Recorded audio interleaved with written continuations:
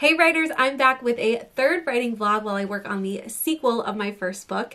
And with Camp NaNoWriMo coming right around the corner, I have two exciting things I wanted to share with you guys in the vlog today. Number one, not only did I finish my narrative outline slash synopsis and sent it off to my critique partners like I showed you in the last vlog, but number two, I already got feedback on the entire story because my critique partners are amazing. They did it in like a week, which means I am super close to fast drafting this book, which you guessed it it is what I'm planning to do for this Camp NaNoWriMo. Now I've done more like NaNoWriMo Preptober tip videos in the past like this one. In fact, I have a whole playlist that I'll link down below that you can also find on this page on my website. But I figured this time around it might be really fun to show you guys my actual prepping for this particular nano. And if you're doing camp as well, I figured you could use this video as a kind of plan with me to help you get your prepping done too. As I've been prepping, I also just watched Kate Cavanaugh's 10-step Camp Nano prep video. And I was like, this is great. It basically has all the steps I would want to do anyway. So I thought I'd try out her exact steps as I vlog. I'll link Kate's video down below if you want to get her full process. And I'll share some of my own tips and resources as we go. For example, one of the things I want to show you guys is exactly how I'm organizing my critique partner's feedback in Scrivener. This way I have a better idea of what I actually need to work on in the story before I start drafting. This is something I briefly showed a bunch of you in my Instagram stories if you follow me over there and a bunch of you were really excited about it and wanted to learn more. So I thought it'd be fun to go into it a little more in depth here in the vlog. And in true Brittany fashion, I wanted to show you exactly how I am organizing this plan of mine. And surprise, surprise, I chose to organize the steps into a page in my Notion. Now, if you're unfamiliar with Notion, you find this super helpful and you want to learn how to make a page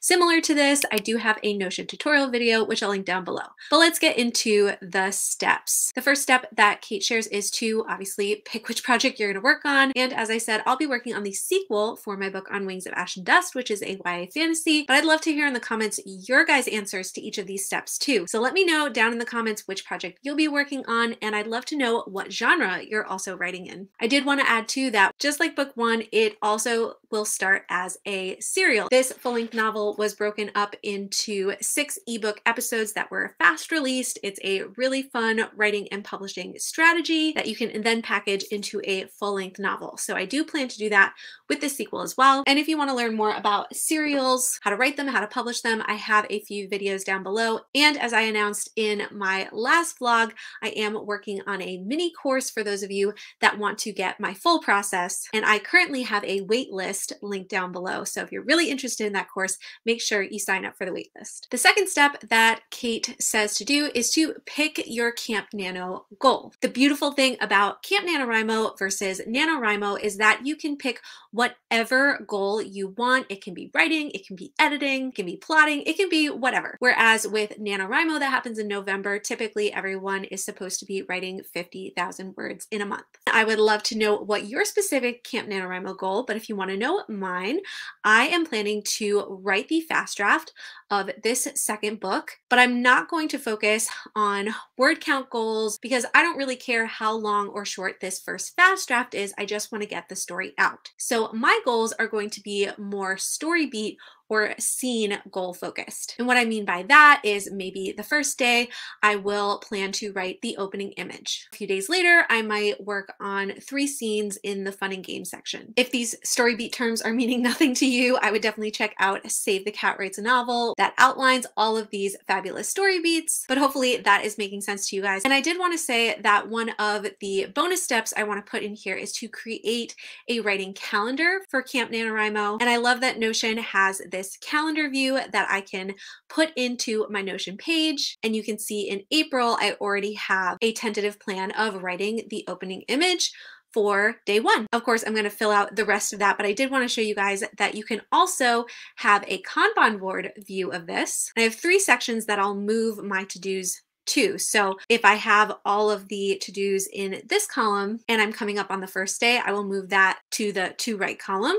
And then as I'm writing it, I will move it to the writing column. And then when I'm done writing it, I will move it to the done column. And what's fun is when we go back to the calendar view, you can see that when I actually get this done, it will be marked as done on my calendar. Check out that Notions video if you want to learn how to set all this up, but let's move on to the next step. The third step that Kate said to do is to announce your project and I just added find accountability, which announcing your project kind of helps you get accountability. But I just want to stress at that point because I think that accountability is the biggest reason that I've been able to make the progress in my writing career thus far. So whether you are signing up on the NaNoWriMo website and using that as a resource to connect with the community, or you want to announce it on social media, or you have critique partners or friends or family that are going to help you stick to your plan, I would definitely share who your accountability people or platforms are below. And I will share that I'm announcing it right now on YouTube. So you guys are my first round of accountability. Plus, I plan to announce it on social media. So my main platforms are Instagram, TikTok, and then through my website, I'll be sharing it through my newsletter. And of course, I will be highly utilizing my critique partners who I check in with on a regular basis anyway. But during any kind of nano is definitely a great time to share with them my full plan and to check in with them more often. Now, when we move to step number four, we're going to be figuring out what we actually need to prep. Because it's Camp NaNoWriMo, all of us probably have very different goals, but I'm going to share mine just to give you guys some inspiration. And I'd love to know what you need to prep down below in the comments. For me, I have three main prepping goals. The first one is to finish organizing my critique partner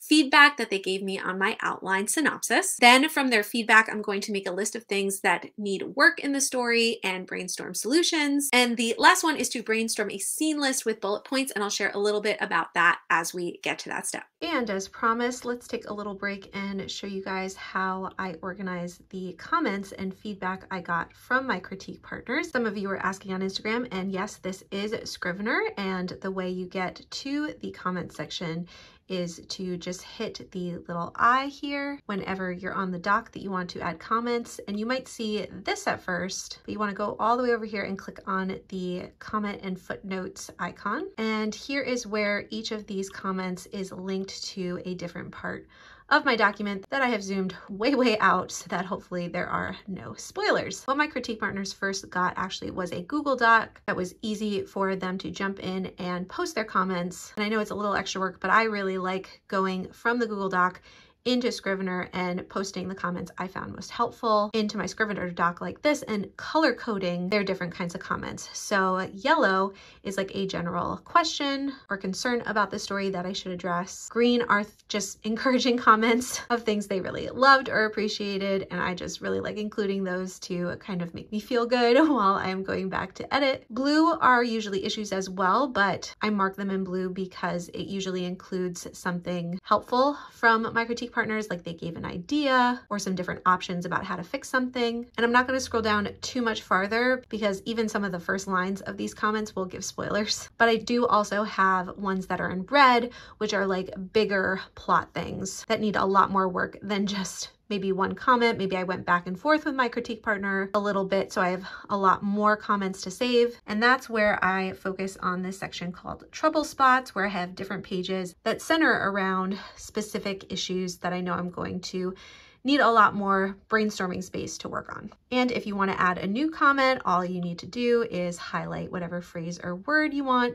Then you got to click this comment icon, not this top one, but this one to add a comment. It's going to add it in whatever color you last used. You can type in whatever you wanted to say here or copy and paste your critique partner's thoughts. And then you just right click and you can pick a totally different color. You can collapse it and it'll just show whatever the first few words were of that comment. So you can easily get around to the different comments. Then if you want to delete it, just press the X right there. I also wanted to add a little bonus step of where are you going to be organizing all of this. Kate obviously talked about this as well, but it wasn't an actual step. So I'm just adding it in here to officially say that I'm going to mainly be using Scrivener, but obviously I'm going to be using a little bit of Notion as well. And then I find that if I need feedback during the drafting process, I will also utilize Google Docs because then I can easily share it with my critique partners and they can put comments in so I can get feedback. You guys have other programs you use definitely let us know down below. I love learning about all the different programs. But let's move on to step five, which really starts getting down into the nitty gritty of things we might be prepping. So you might find that for these next few steps, you want to do them in a different order. But generally, I feel like the next few steps are a really good list of things to kind of check off and make sure that you do at some point. For step five, Kate mentioned nailing down the setting and history of your world. And in my Scrivener pages, I have one for the magic system, one for the world building stuff, and one for character backstories. And even though I have so much built up already for the world and magic system and character stuff in book one, I'm really trying to bring a whole nother level into book two. And as you see, I have a note here of developing a brand new part of this story's world that I'm really excited for my readers to dig into. So part of my process is I'm going to need to create an additional Pinterest board for this part of the story's world since the Pinterest boards for the other parts of the world that I used for book one were really, really helpful. Now, even though I'm drafting, I'm kind of also in this editing phase since I'm moving from getting feedback on my outline to actually drafting. I know kind of what needs to be worked on, right? So if you're just starting to prep the story for the first time, this might just be ground zero for you, brainstorming from step one. But if your goal is more to edit during Camp Nano, you might be a little more like me where you know kind of things that need to be worked on and can more flesh out your world and setting and all that kind of stuff with this kind of strategy. Moving on to step number six, we have brainstorm main character motivations and other MC or main character facets. For me, after getting feedback from my critique partners, I know that my main character is really pretty much in a good place, but it's the other four fairy heirs in my story who need a little more beefing up, some more than others. And in this book, I really want these four characters to have some of their own point of view chapters. So it'll be really important for them to be even more developed. One way I'm going to work on these characters' arcs and goals for this specific book is to go back to their Enneagram, which I found really helpful to develop how they were growing in book one. And if you've never thought about using the Enneagram for your characters, I do have a video where I kind of broke down how I used it for mine, and it was really, really helpful. I'm just saying. Another thing I did for book one that I really want to do in prepping for book two is to practice writing from each character's point of view in either like a journal or letter format. Even though these characters didn't have point of view chapters in the last book, it really helped me find their voice, especially for dialogue and developing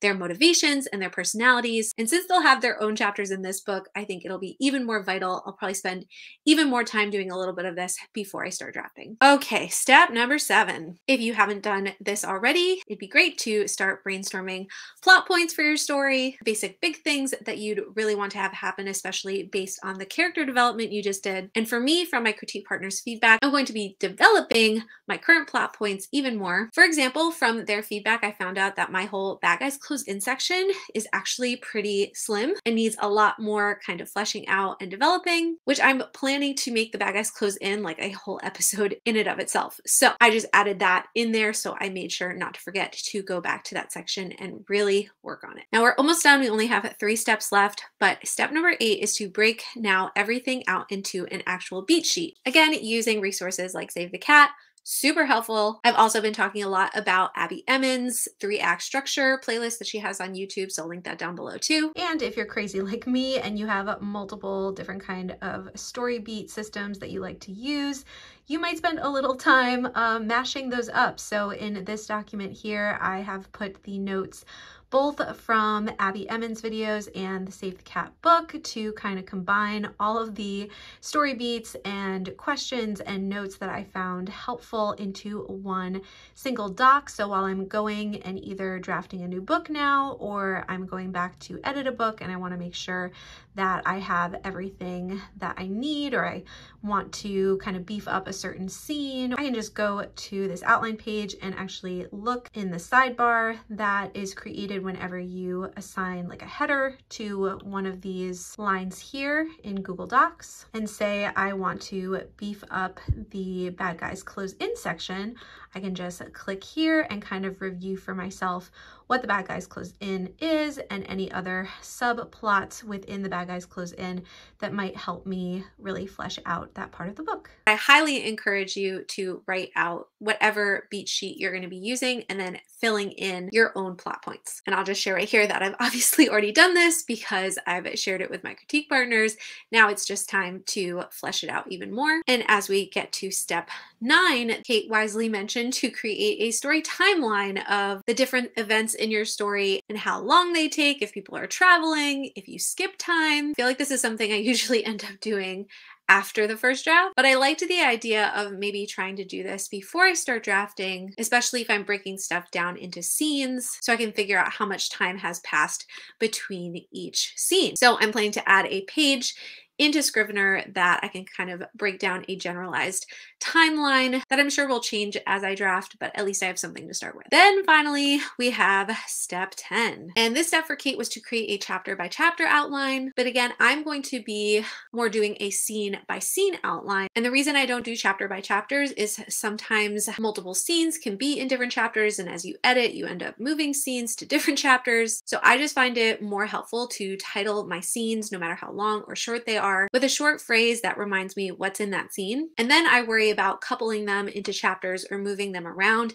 in the editing phase. I also have a note here that because this story will hopefully be multi-POV, I plan to loosely assign which scenes will be in which character's point of view, which again could change as I draft or as I edit, but at least I have an idea of when I go to draft a scene, which point of view I'm actually going to be in. Special thanks again to Kate Cavanaugh for these super helpful steps, and I hope going through the steps with you guys gave you some really great ideas for how to prep your own story. I've linked Kate's video and any other resources I mentioned down below, as well as that that page on my website with tip video playlists for every stage of the writing and publishing process. I don't know about you, but I'm excited to start enacting this plan, and I'm definitely going to continue vlogging the drafting process during camp and probably hosting a few live writing sprints. So if you're excited about all that, don't forget to subscribe and hit that notification bell so you don't miss anything, and we'll see you in the next video.